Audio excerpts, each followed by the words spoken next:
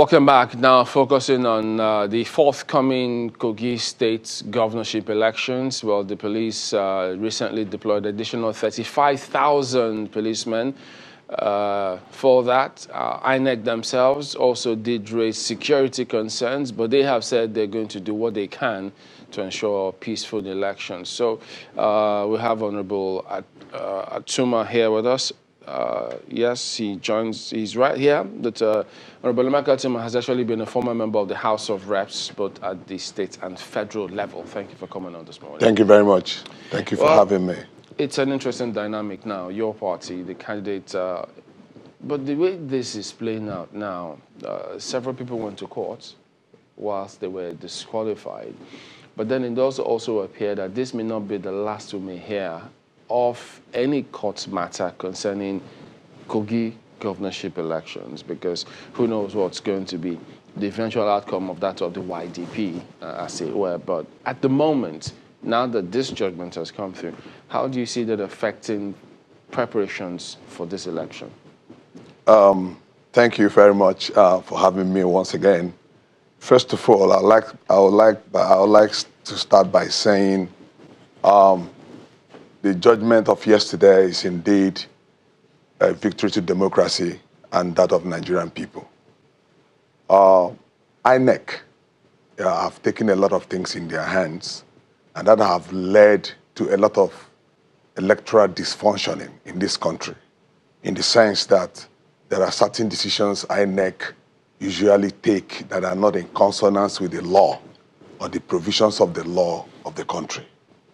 INEC, um, by themselves, wanted to exclude people by the reason of uh, um, having an invalid nomination. And uh, there is no such, such thing in provision of the law. Um, we reminded INEC uh, at the beginning of this whole thing that uh, it would rather be better for them to slow down a little bit with their administrative policies that are eating deep into the pocket of uh, the taxpayers of Nigeria. Because whatever mistake INEC does will actually affect the system in itself. So uh, the victory has come yesterday, and probably INEC must have printed their ballot papers and excluding this, particularly my party, Social Democratic Party, and other parties. And uh, this was quite, this was a, uh, a decision by themselves and it, will not be, it will not be backed by any law. If you go by the, by the sections of uh, Electoral Act, you know that there is no such provision of making an invalid nomination. And even where the Act itself recognized the invalidity of a nomination, it also provided that INEC should open up and extend and allow party to nominate so that there will be a competitiveness. If you go to, if you go to section 38 of Electoral Act, it's provided that INEC must open up, assuming that even the date, their timeline is closed of nomination, and there is no valid nomination made by a party. Is it, is it, is it that the parties do not have enough time to select their nominees, the candidates that would uh, put that is it that the political parties don't have enough time to no, it, no, no, no, it's not. It's not it. You know, in a system, things run, and uh, why things are running, um, there are like if you get if you look at if you look through the law, there are provisions provisions that a candidate should meet to stand for an election. There are about five of them, and uh, which includes age and then even uh, the secondary school's qualification in some cases, you, you might nominate somebody that, like what happened to SDP, you know, not really taking full uh, account that the deputy governorship candidate uh, wasn't up to 35 years old. But that was that in itself will not disqualify in its entirety. Okay, let's let's imagine. Yeah. Well, the judgment is in favor of your party already. That's correct. But so I mean that one is going. But this whole exercise could probably have been avoided if, you know, this element that you just mentioned had been avoided by your party have been issued. No, so? I mean, like I said, things happen. I mean, if you are, if you are, if a process is going on and it's within the time frame, uh, there isn't anything there isn't anything wrong in it. The law provided that a party must nominate a, a candidate 45 days to election. Election is still in view. And while these whole issues were still going on, the interface between the party and the Electoral Commission is still going on. It's more than 56 days.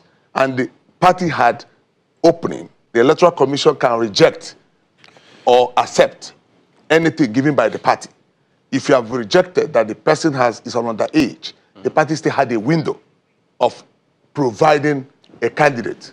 Well, you know what, what what what you would confuse some people, you know, about this whole thing is look, the political class have a major role to play as far as democracy is concerned. Mm-hmm. So the best thing that many people would expect is look, let's just keep it smooth, you know, so that everybody, you know, uh, more confidence can come both from the people and from those who want to join your party yeah. to be able to do all these things. So yeah. all these that you said, when you say things happen, what are the kind of things No, that happen like- that okay. impede the, the, the progress that you want to make so that will make the job of the ease the even electoral umpire you talked about even easier. No, no, I don't think so. I mean, um, in documentation, in the things of documentation, we haven't had any impediment yet.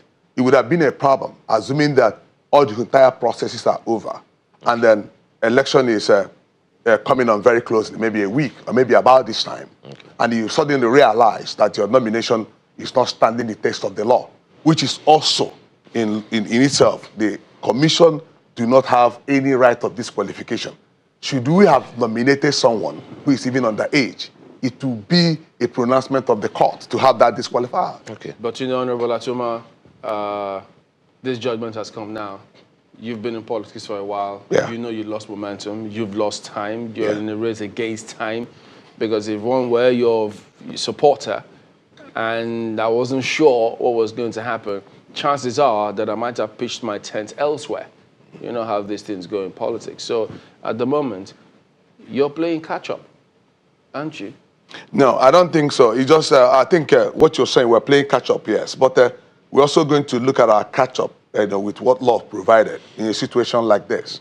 You know, um, the, the, the, the Electoral Act, uh, I think uh, the members of National Assembly had uh, envisaged that thing of like this will happen, and uh, in their part, in the, in the, in the, in doing the law with dexterity, they were also able to capture it.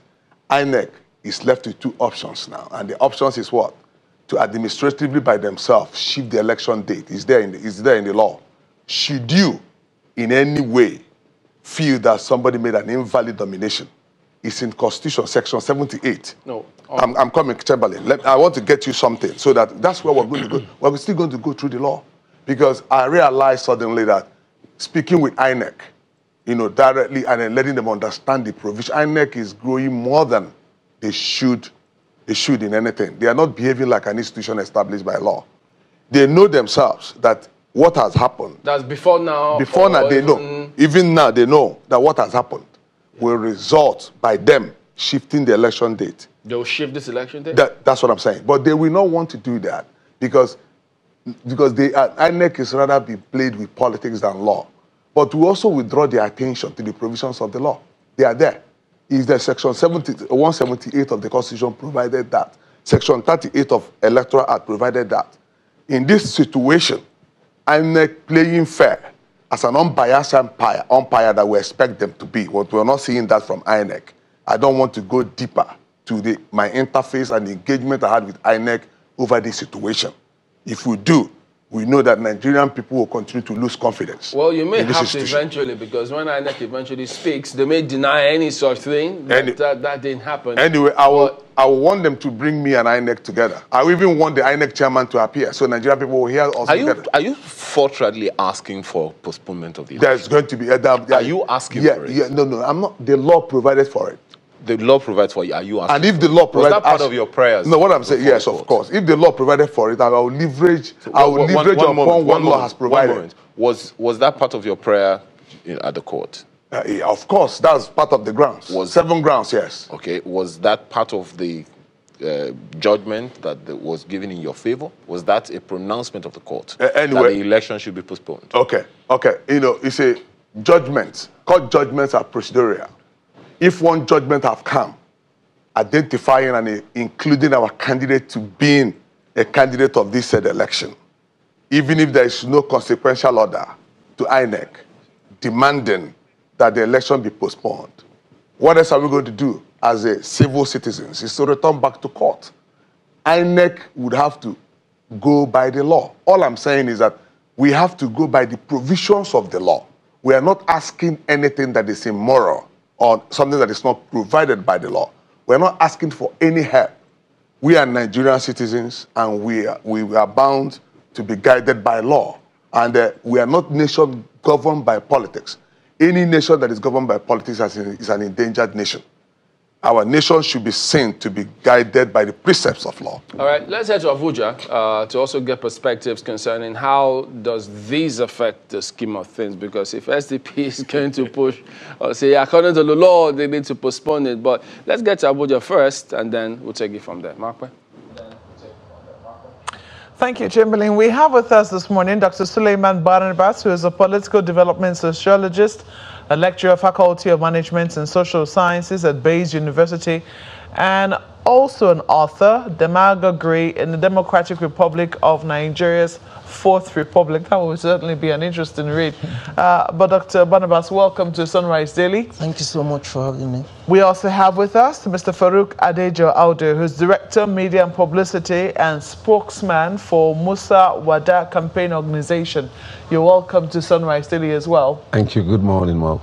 Well, yesterday you saw the uh, judgment in favor of um, SDP, Social Democratic Party, and you can hear them reacting to it that it was not in the place of INEC uh, to have disqualified their candidates in the first place. Do you think that INEC is an unbiased umpire uh, from their actions so far and the preparations you have seen for Kogi? Uh, and maybe Bayelsa, you might want to add Bayelsa to it. Do you think that they're an unbiased umpire? They're going to be unbiased in the elections that are coming up in Kogi State. Let's quickly get your assessment, Dr. Barnabas. well, I think that um, INEC must uh, prove to Nigerians beyond all reasonable doubt that um, they are not partisan. The steps they've taken so far one of which was the disqualification of some candidates from Kogi and Bayelsa, you know, knowing fully well that they do not have the constitutional, uh, it's not within their powers to disqualify candidates. Um, that calls for worry. And uh, so, if I'm to answer that question, I would think that um, INEC needs to do more for us to be sure that they are unbiased, that they are independent, because their actions so far, and even their inactions, have shown that um, uh, they may not be totally on the path of um, independence as they should be. Mm. Just quickly, let's quickly get your thoughts. Okay, my own answer would be a categorical no. Why? Good. Um, the constitution of INEC is, I'm talking about the composition of INEC. Um, you discover that most people there are partisan. Are they card carrying members of any party? Of course, there was uh, a recent one in the National Assembly. What was the name? Of the fellow from Osun State who admitted to being an APC member. Up to recently, the campaign manager of, uh, of, the, of the, the present governor, he admitted that. And as you can see, to all intent and purposes, every election conducted by this INEC under this Professor Yakubu Mahmood, everybody, any, I mean, any, any designing observer, any observer that will, I mean, that is designing will tell you that they have been very partisan in most elections. Hmm. Some you, people, you, you some people to, will not agree with you. Uh, they would say that you know your part, your party, you're a member of the PDP, I believe, yes. uh, that your party has done well. That you're only saying this because you have lost elections in certain places, and perhaps because you you're facing an incumbent APC uh, governor, and that there are fears that you're trying to prepare the ground that if you do not win, then it was INEC's fault. Okay, now let's look at it this way. Any PDP, any PDP candidate that is successful will tell you that among his opponents, apart from the APC person, INEC is another opponent. And most likely the security agencies are, are, are part of, I mean, I mean, also form a block of opponents. That's the truth of the matter. Mm-hmm. We have seen in cases where somebody is coasting home to victory INEC would declare inconclusive. And at the end of the day, the SPC will be allowed to bring in talks openly. Observers will testify to this. Journalists will testify to this. They beat up journalists, beat up observers, so that the APC can, I mean, will win. It happened in North, it happened in Kano. So I'm talking about an APC incumbent in Kogi State that is likely to win. It's, if we have a free and fair election, I can tell you categorically that that candidate will not get 80% of the vote. And I'm not bragging about this. Even he will tell you. And I challenge the media even in Nigeria. he will tell me that he will not win. yes. that will be the day. Okay. when even somebody who is the least likely to win will admit that he will not win Oh, elections. Okay, maybe maybe I've been uh, a little bit uh, hyperbolical, but I challenge the media in Nigeria. Go and do a survey in Kogi. Go and do an opinion poll. It happens everywhere. I mean, everywhere else Opinion polls have been wrong. Op- even in places where opinion polls are usually very correct, they have been correct for many years. You saw what happened in the U.S. Elections. is the exception, ma'am. They That were the, wrong. That is the exception. It might be the Not the exception, but it happens. That- that is the exception, It's not not a foolproof measure. That's it's the point I'm trying but to that is make. the exception. Hmm. It has only happened possibly in the case of Donald Trump. Mm-hmm. That is the only opinion poll that we know that was wrong. And those opinion polls didn't take into cognizance a lot of other things. I mean, let's not talk about the Ameri- uh, American election, but we knew about the Russian convention, we knew about a lot of other things that the opinion polls could have taken into cognizance. But if all variables are under control, opinion polls have never been known to be wrong. Well, but that was- cannot that cannot justify Nigerian, I mean the Ni- Nigerians not doing opinion polls in elections. If you do opinion poll, each channel goes to Kogi to do opinion poll, you will be asking me questions from the result of the poll. And that result of um, the result of that poll will show you that the PDP will get at least 70% of the votes. That is very interesting. It means you've done your poll, isn't that right? yes, of course, we have done our own polls. Okay, I'm- we are I'm- commission, we are commission posters, we are I, commission I'm glad that you already have results of your polls. Uh, well, let us see how it goes eventually in the elections.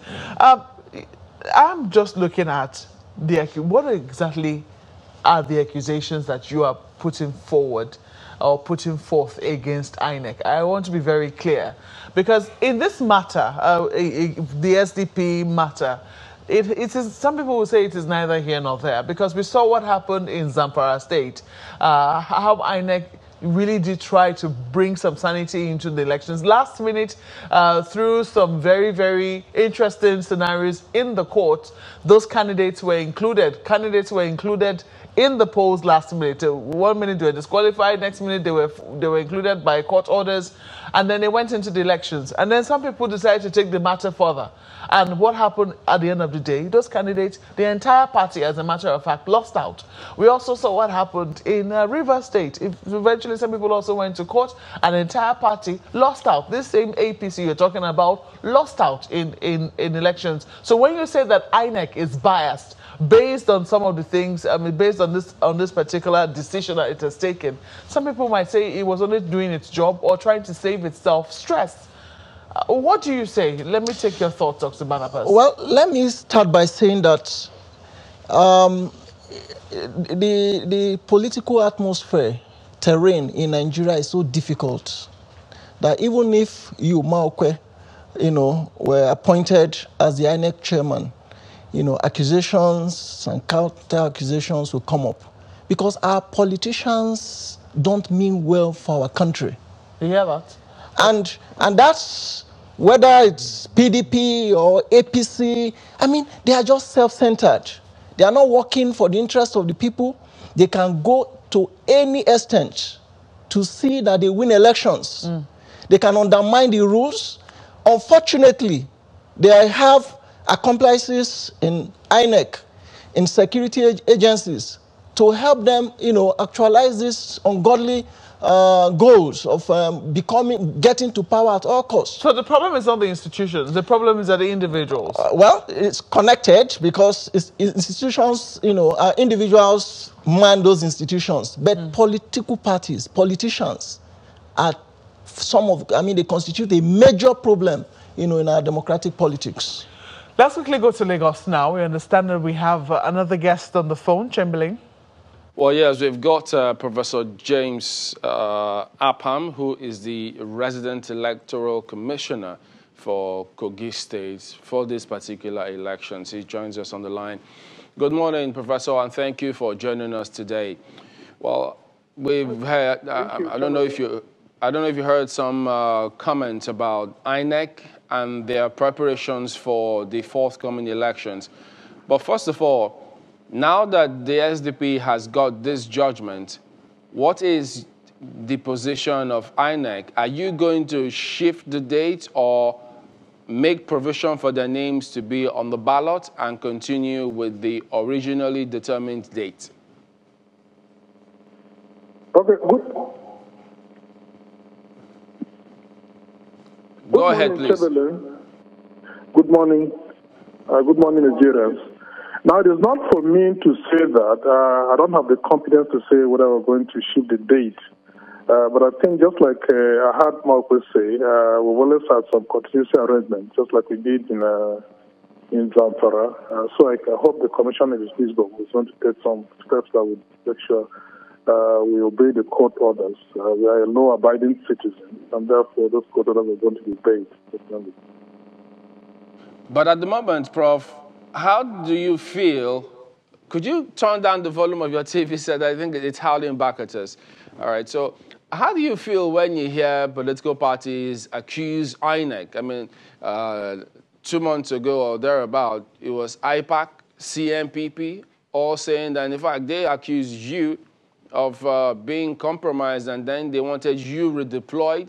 But how does that affect preparations and confidence building on your part with politicians ahead of the elections? Well, well, one of the contributors made the point rightly. Uh, he, when he said even if Maupe is appointed the chairman of INEC, uh, she is going to be accused by one party or the other. I think that's just what is playing around. Uh, we We've not been uh, held back by those accusations. We're making preparations for the elections. We've had several meetings with the various stakeholders uh, in order to build confidence, just like we use the word building confidence. We are preparing on our own parts and getting ready by day by day, uh, holding meetings, like I said before, with the various critical stakeholders, with the party people, the civil society, the press, and the the other voters, the other groups as women groups or youth groups, and then we are preparing steadily towards the elections. So, Prof, let me quickly ask you. You talked about, you made mention of confidence and trust and all of that just now. What, in your opinion, is responsible for the erosion of confidence between INEC and political parties uh, because, I mean, from both Lagos and Abuja, the, the, com the, comments from the political parties have been that INEC seems to be a contestant as well in this election. So what do you think is responsible for the erosion of confidence? There's no reason for that, except those who are accusing us of uh, being biased. We need to come forward and explain. Uh, we hadn't done anything yet. Uh, we're still in the stage of preparing for the elections. So I wonder where the accusation of uh, of uh, being biased came in. Uh, that was not quite early in the stage of our preparations. And so I left to them to explain why they think we cannot do it. Uh, all we know is that we're preparing for elections. We've met uh, several groups, we've met parties, we told them the various stages we are going to follow and they're going to have their agents at every stage uh, watching what we're going to be doing. Uh, so we think that's enough for us to build enough confidence in, uh, in what we're doing for them to also accept that some confidence has been built. All right, Professor Apam, just give us four minutes. Uh, we'll come back and talk about the preparations and what you have put in place for the forthcoming elections. Please stay with us.